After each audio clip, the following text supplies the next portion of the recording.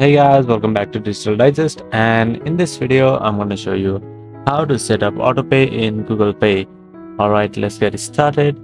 So here, first step is to go to google.com and let's head on to the Google support. So let's go to this website and now select the Google Pay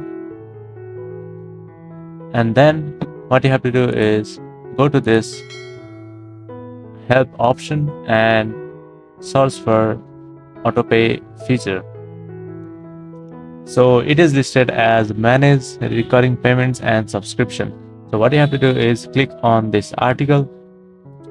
So i have already copied the link. So i'm just going to just paste it over here and open it.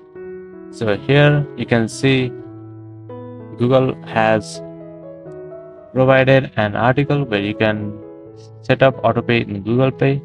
So here the first step is to open your Google Pay app and on the top right just click on your profile picture and then select the autopay option. So here you can find the status of the mandates in these three tabs.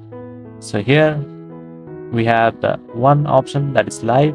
So that means the mandate is currently active and then another one is pending and the last one is completed.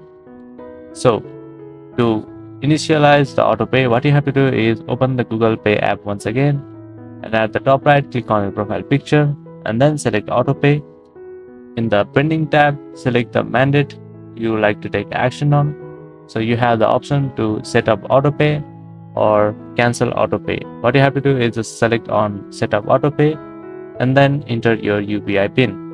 So once you do that, your autopay will be set up in Google Pay. So that those were some easy steps on how you can set up autopay in Google Pay. Thank you for watching this video and I'll see you on the next one. Also don't forget to subscribe to our channel for more videos like this.